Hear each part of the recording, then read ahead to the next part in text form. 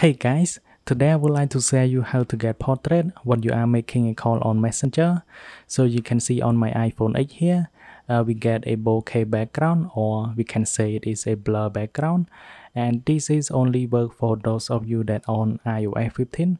It is the new beta that Apple has just released and you get a new feature called a portrait and when you make a call you're gonna see the blur background and it is only focus the object in front of the camera and uh, this is a feature on FaceTime but it also support on Messenger.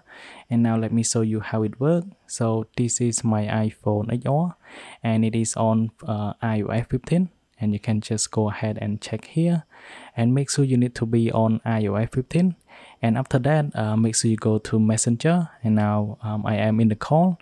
And all I have to do is just go ahead and pull down from the top here. You're gonna get a feature called video effects and make sure portrait is turned on and you can see it is turned on. And now if I turn it off and you can see on my iPhone um, 8 here there is no blur background. But if I go ahead and turn on the portrait mode we're gonna get the blur effect and it is work very well.